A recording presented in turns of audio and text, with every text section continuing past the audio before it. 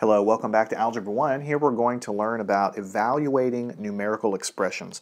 Don't let this title uh, confuse you or scare you. It's a very simple concept and we're going to get to it here in just a second. Um, so first let's talk about what is a numerical expression. Okay, expression, this word expression, you see, you're going to see it in algebra all the time. Basically, an expression is math operations. So a numerical expression is math operations that have numbers, okay? Because in later on, we're going to have math operations involving letters, variables.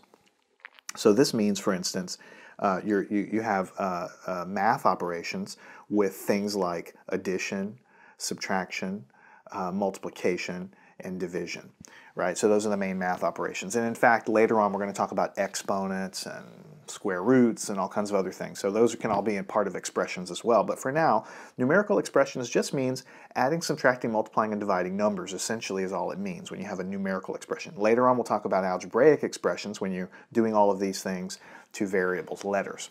So it's, it's a real simple concept. You've been doing this since third grade.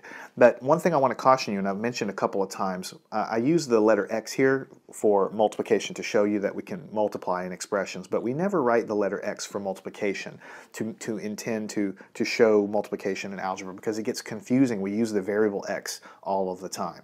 So for instance, in basic math, you might say 3 times 4 right? This means 3 times 4 is equal to 12, obviously. But you see the x here in algebra is going to look like a variable. It looks like 3 times x times 4. So we, we never use this x to mean multiplication. Instead, in algebra, we, and I've done this several times, we uh, put 3 and then a dot here uh, with a 4. That means